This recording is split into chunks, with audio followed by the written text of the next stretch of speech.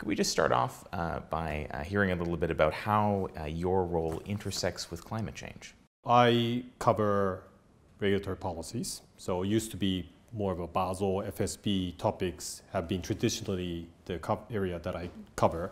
But nowadays, it's more about climate change and uh, how climate change that interact with uh, financial regulations. Finance Day on November 3rd. What are some of the key uh, developments that, that really caught your eye? Two notable announcements that I, at least from my perspective, that I thought uh, will be a, a, kind of game changer. One is uh, the, the announcement from Rishi Sunak around this uh, rewiring the net zero pathway for all the UK banks and corporates. So it's no longer voluntary. It will be more of a mandatory that you put out those uh, strategy and plans. This IFRS, ISSB acquiring the, the existing NGOs or standard setting bodies. So I'm sure that will accelerate uh, all the rulemaking going forward.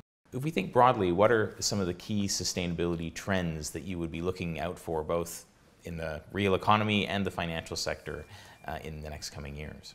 At the end of the day, it's all about sustainability. Sustainability of this planet, sustainability of our sector, of our firm. So it's not just about climate or how we can contribute to climate change in a narrow kind of sense, but rather we, we need to think about this broader sustainability themes basically on everything that we could do going forward. I think so. It's it's a quite a broad topic, and uh, it's not just kind of working level agenda. It's top of the house.